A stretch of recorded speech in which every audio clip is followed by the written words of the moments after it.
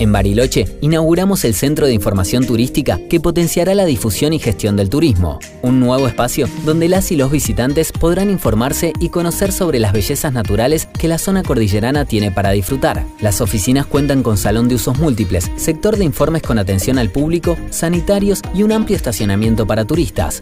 La obra pública no se detiene. Gobierno de Río Negro.